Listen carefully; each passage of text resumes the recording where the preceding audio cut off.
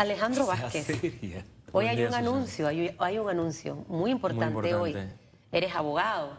Ah, ¿Sabes? Tu, tu, tu expectativa judicial. Sí. ¿Hacia dónde va? Así es.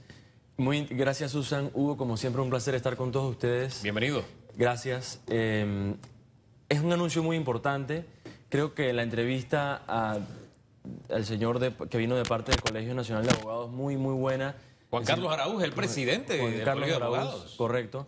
Eh, muy buena en el sentido de que comparto su opinión de que meramente cambiar eh, a tres magistrados no es suficiente para verdaderamente transformar el sistema de justicia de nuestro país. Sin duda, concuerdo contigo, Hugo, en que ya se han visto luces de que un magistrado puede iniciar a hacer un cambio como me parece que lo ha estado haciendo el señor Arrocha y esperemos que los próximos nombramientos sigan esa línea de ir empujando hacia la implementación de la carrera judicial, hacia obtener verdaderamente independencia financiera e independencia judicial, de modernizar los procesos. ¿Cómo es posible que en una era de la tecnología donde todo lo podemos hacer por computadoras todavía tenemos que estar eh, llevando y trayendo papeles eh, a, a los juzgados cuando ya esto puede ser implementado digitalmente? Ya hay juzgados que lo aplican, eh, los juzgados de la competencia.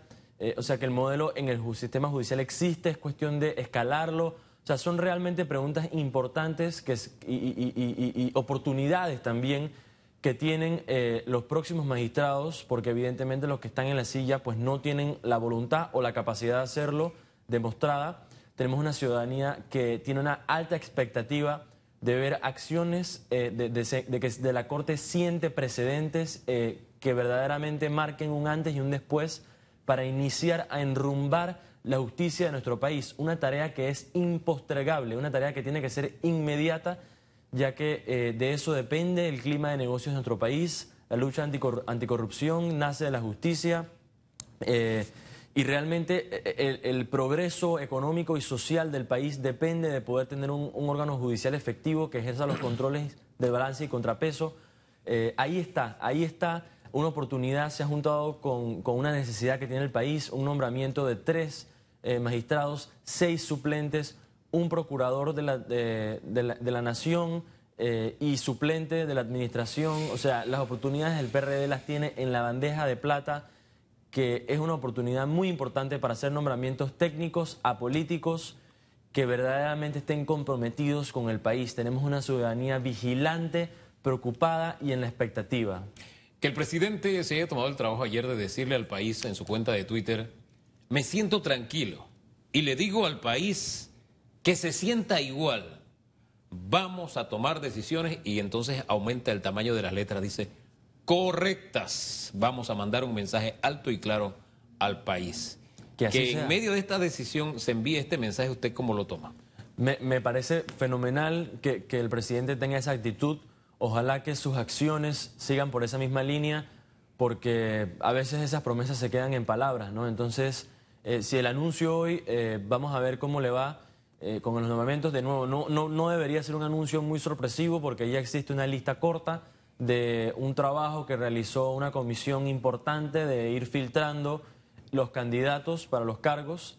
Me sorprende que teniendo una asamblea con la credibilidad tan golpeada que, ten- que tiene, eh, con todas las controversias que la rodean, el presidente le haya dado la oportunidad a la asamblea de discutir tantos temas, más allá de los magistrados. Me parece que las sesiones extraordinarias debieron haberse enfocado únicamente en los nombramientos, pero han incluido eh, la creación de una superintendencia. E- Eso es importante. Una y tenemos esa, importante- esa asignatura, la tenemos pendiente. Tal vez de Sí. pronto darle más tiempo de sesiones. De pronto, Así mira, es, pero no entiendo la necesidad de, eh, de- de- de inclu- forzar Claro. un tema como este, especialmente cuando el propio PRD, al cierre de la asamblea anterior, antes de las elecciones, dijo que no iban a discutir nada tambor batiente. Entonces, ¿qué estamos haciendo ahora? Impu- impulsando eh, nombramientos en la autoridad marítima, en la cadena de frío, impulsando el reglamento de los regla- eh, eh, del registro contables de las sociedades anónimas, una superintendencia de sujetos no financieros. eh, o sea, realmente son temas importantes que afectan eh, de forma contundente a varios sectores de, de servicio, en particular al sector de los abogados. Yo, yo creo que hay Eh, que aprovechar el tiempo productivamente. Lo que siento es que de pronto, como tenemos la gran expectativa de los nombramientos y del papel que va a jugar la Asamblea, además que se suma el tema del procurador, Lo que me parece de pronto es que la correa de tiempo es como muy, tú sabes, Muy ¿no? corta. Muy corta. Entonces, ¿para qué te vas a- Eso es lo que me preocupa. Sí, ¿para qué Pero te- el contenido son importantes todos. No, sin duda, pero si tienes la oportunidad de verlo en la legislativa, en, el- en la sesión legislativa que se aproxima en enero, ¿cuál es la necesidad de incluirlo ahora, cuando la expectativa está en los magistrados? En el tema ¿Por de la superintendencia, y eso yo lo entiendo porque fíjese, en nuestro ministro de Economía y Finanzas está, creo que mañana y pasado, si no hoy y mañana, tengo que refrescar información, eh, explicándole a la OCDE lo que nosotros estamos haciendo y corrigiendo, y que tenemos y que vamos a pasar de las leyes a hacer cumplir las leyes. Y siento que incluso llevar esto que teníamos pendiente ya lo tenemos en la Asamblea, por lo menos es una buena noticia, es una, es una, es una es ficha que Esa- te llevas, ¿no?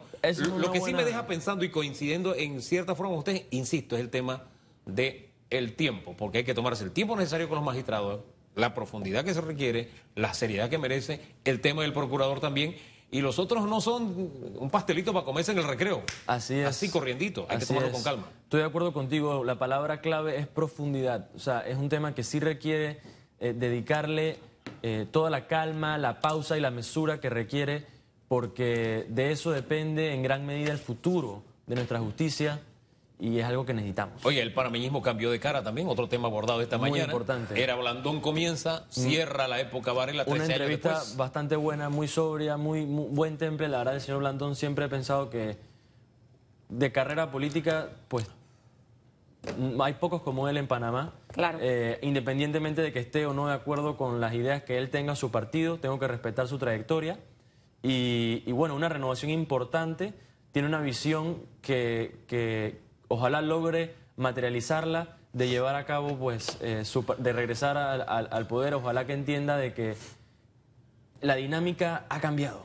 Eh, Totalmente. Nuevas fuerzas políticas con nuevas ideas Sí. están en el plano político. Se ha visto la formación de un nuevo partido. Eh, lo que antes funcionó ya no va a funcionar.